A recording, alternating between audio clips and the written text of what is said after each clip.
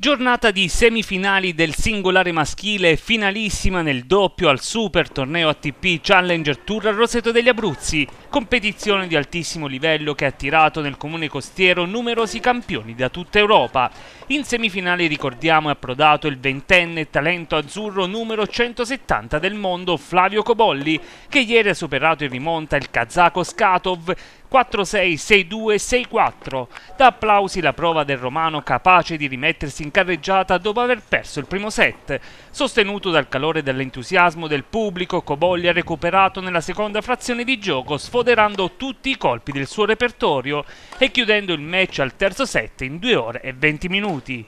Sì, abbiamo due semifinali e una finale di doppio straordinari eh, con un italiano in corsa che è questo giovane ragazzo romano Flavio Cobolli che è la speranza di tutti noi che possa raggiungere i ragazzi che già sono top 100 azzurri e quindi è uno spettacolo incredibile, una giornata molto bella e ci auguriamo grandi match e tanto pubblico.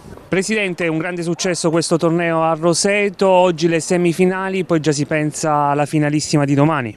Sì, diciamo che oggi pure il stemmo ci assiste, aspettiamo il grosso pianone e ci prepariamo per questi due giorni. Poi vi, vi ricordo che la prossima settimana inizia il secondo Challenger eh, di cui sono arrivati giocatori fortissimi, è arrivato finalmente Vesely che ha battuto Djokovic a Dubai, c'è Mager, ci sono anche altri giocatori top 100, quindi la prossima settimana sarà ancora più spettacolare.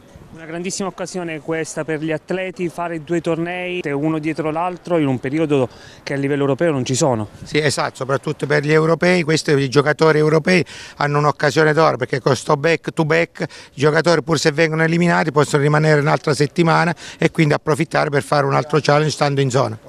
Una cosa importante è la presenza anche delle scuole. Sì, eh, devo ringraziare soprattutto l'Istituto Commerciale di Rosario che mi ha messo a disposizione 20 ragazzi eh, che l'abbiamo usato per fare il, i ball boys e 20 hostess per la lingua, quindi sono stati bravissimi. E poi voglio ringraziare tutte le scuole della provincia di Teramo perché grazie alle iniziative che abbiamo fatto verso di loro, che gli diamo l'ingresso gratuito, stanno aderendo numerosi. Su Rete 8 Sport, canale 11, domenica 13 e domenica 20 marzo alle ore 14.30 verrà trasmessa la diretta delle finali di tennis, finestra in diretta calcio integrale sul canale 112 Rete 8 News.